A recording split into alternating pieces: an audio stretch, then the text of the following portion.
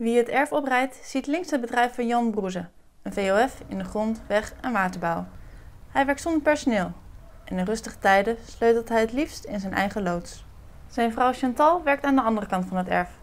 Behalve dat ze de administratie van haar man doet, heeft ze een eigen administratiekantoor, Flexico, en werkt daarvoor normaal gesproken zo'n 36 uur buiten de deur. Ja, dat vind ik ook het leuke aan de diversiteit. Dat vind ik echt, eh, ja.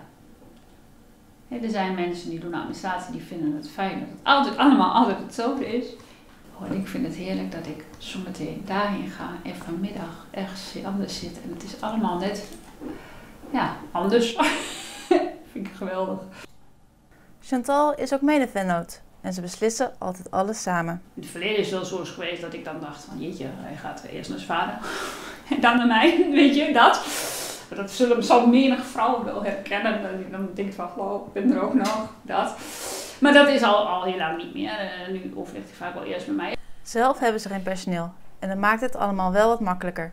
Daar kwam Chantal zelf ook achter toen ze 19 jaar geleden voor het eerst naar de Vrouwendagen ging. Dus ik hoorde mensen die inderdaad in de winter gingen koken en, en, en in de zomer eh, met, de, met de mais en zo, dat ze dan eten gingen brengen naar eh, het land. Dat ik dan dacht van, jeetje, dat doe ik allemaal en moet, dat ook, weet je zo. Dat ik allemaal dingen hoorde van, oh ik heb het wel mooi makkelijk, weet je zo.